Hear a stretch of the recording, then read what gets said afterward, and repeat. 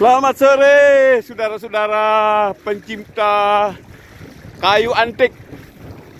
Inilah untuk hari ini kita mendapatkan kayu-kayu yang konon katanya kayu-kayu ini yang diukir oleh ciput.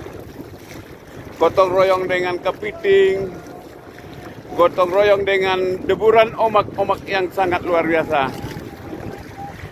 Nah inilah kita pantainya pada hari ini memang suasananya kemarau. Jadi tepian Danau Poso sangat dangkal jauh sekali. Nah ini anggota kita yang setia dari kampung TSM yang menemani kita sudah lebih dua tahun. Nah dengan kayu ini yang sangat gantikannya luar biasa. Asli, tanpa diukir manusia. Muatan hari ini sudah satu perahu. Ya, inilah kayunya yang sangat antik. Nah, di luar sana banyak kayu-kayu yang yang lembok dari kayu pepohonan beringin. Kami hanya mendapatkan kayu-kayu yang memang asli tubir Danau Poso. Mudah-mudahan dengan kayu antik ini yang para pecinta kayu antik silakan hubungi 0853 4372 6665 atas nama Syuri Corner. Nah, kita sudah mendekati Pantai Syuri. Pantai yang sangat indah yang sudah dikunjungi oleh tamu-tamu domestik maupun tamu dari luar negeri.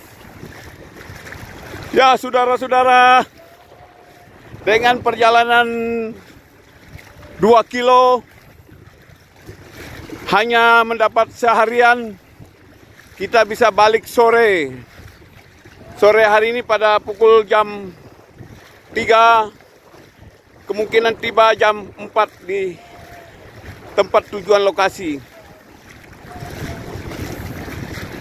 Ya, saudara-saudara, inilah suasana tepian Danau Poso yang begitu indah. Kita sekarang posisinya di pantai Sencanga atau Tokoimbu. Sudah menuju ke pantai Syuri dan sudah paling ujung ada wisata kami yang dinamakan Syuri Corner yang menawarkan wisata sejuta unik. Nah, inilah dengan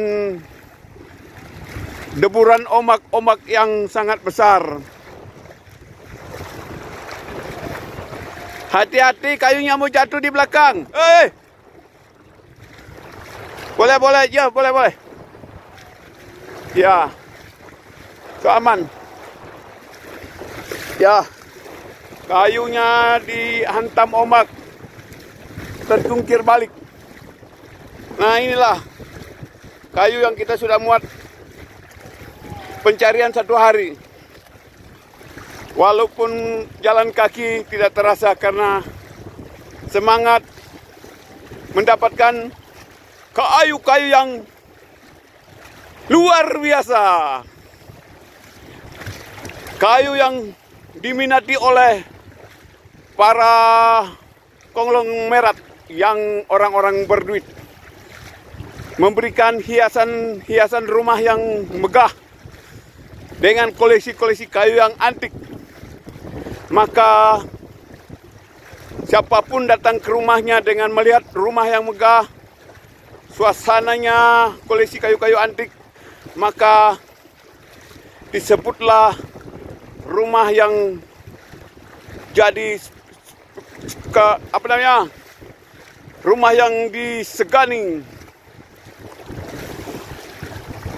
Oke saudara-saudara. Ternyata makin sore Omaknya makin kencang.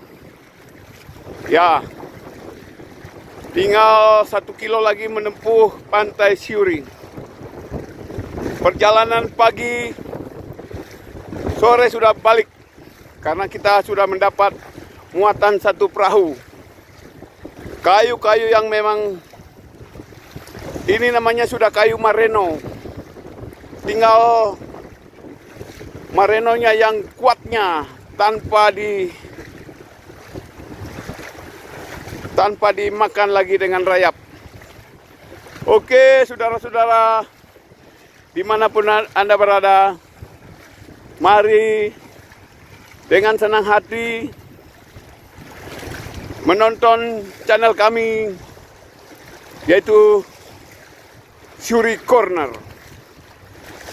dengan pegunungan-pegunungan yang tinggi yang megah yang konsepnya masih alam belum ditebang karena di daerah sini masih kawasan hutan lindung. Oke saudara-saudara terima kasih di mana pun anda berada semoga dengan dengan kami pecinta kayu antik. Semoga Anda bisa nonton karena kami berlanjut terus sampai musim hujan. Ini kemungkinan tiga bulan lagi masih musim kemarau. Oke, terima kasih. Selamat sore.